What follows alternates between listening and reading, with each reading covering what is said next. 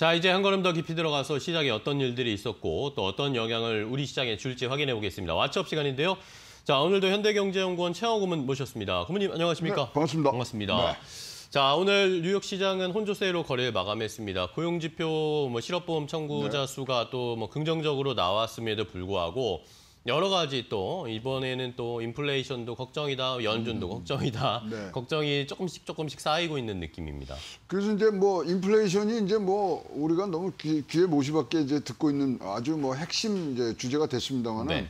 어 사실 이제 이런 어, 차원에서 왜 인플레이션을 이게 옮겼다냐면 고용 시장이 그래도 지금은 회복세를 어, 뚜렷하게 지금 보여주고 있는데 사실 이 미국의 고용 시장이 속으로는 골고 있어요. 어, 그런가요? 예, 그래서 어, 사실 이것도 뇌관으로 지금 어, 변질할 수 있는 부분들이 많습니다.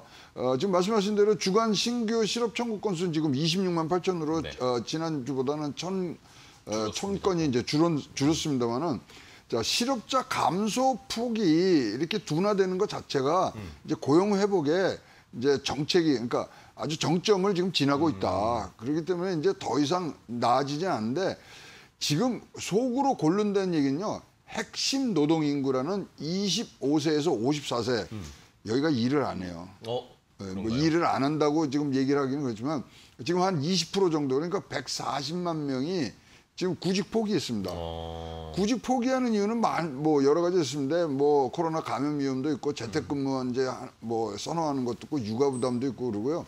또 심지어는 자산 가치가 급등을 해서 조기 은퇴한 사람이 네. 굉장히 많아요. 어, 저도 그 얘기 들었습니다. 네, 그래서 미국에 지금 무슨 얘기 신조어가 뭐냐면 Great Resignation 대사퇴가 일어나고 있다는 거죠. 음. 그래서 지금 사- 지난 어, 9월만 해도 443만 명이 퇴직을 합니다. 지금 구인난이 굉장히 지금 힘들다 그러잖아요. 그러니까요. 그럼에도 불구하고 지금 어 지금 노동 시장의 지금 개선폭이 좀 둔화되는 부분을 봤으면 이건 정, 정점이다. 이제 음. 저 사람들은 안 들어올 거야. 아, 이런 지금 생각이 있기 때문에 사실 구인난으로 이렇게 어 뭐 전체가 고용 시장에 가면요. 사람 쓰려고 그러면 돈 더 줘야 돼요. 그렇죠. 돈더 주면 어떻게 됩니까? 그거는 바로 임금 상승은 그렇죠. 인플레이션을 바로 어, 부추기는 아. 부분들이 있어서 이게 결코 어, 인플레이션과 다르게 도는 게 아니고요.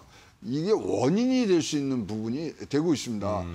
그래서 지금 뭐 다 아시지만 뭐 요새 어디 어, 맥도날드에 취직을 한다 그러면 사이닝 보너스만 천불 이천 불을 준다는 거예요. 어, 그런가요? 어, 그리고 좀 오래 다녀라 이러는 어. 부분들. 그러면 이건 오롯이 어, 소비자의 물가, 저 가격으로 지금 옮, 옮겨 타는 거거든요.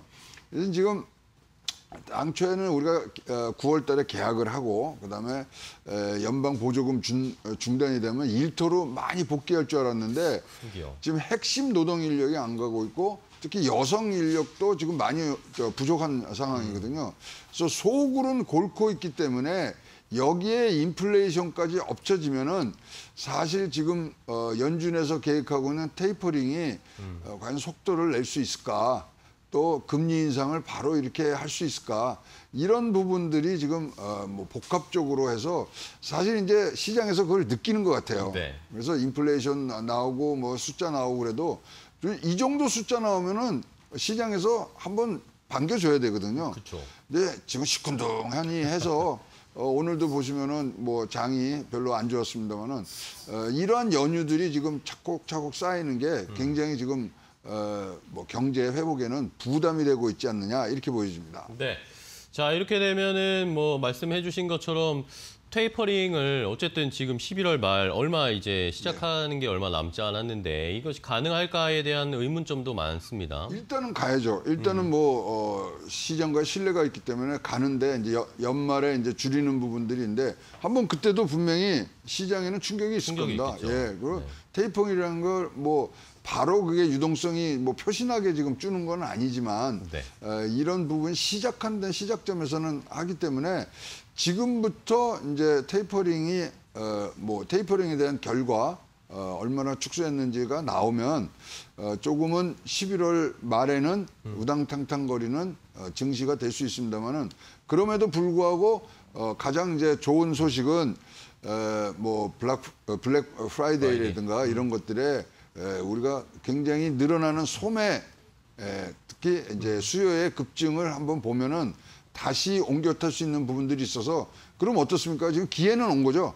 어, 약간 시장에 요동을 치면서 어, 저가를 형성을 했을 때 한번 어, 여러분들이 좋은 투자를 하시면 어, 분명히 이제 어, 뭐 어, 추수감사절 지나고 어, 블랙 프라이데이 지나면 어, 올라갈 수밖에 없어요. 지금 뭐 어, 이연 수요가 굉장히 폭발적으로 기다리고 있기 때문에 그 앞에 한 번에 에, 저점 어, 매수 기회는 한 번 올수 있는 어, 그런 상황이기도 합니다. 네, 좋습니다.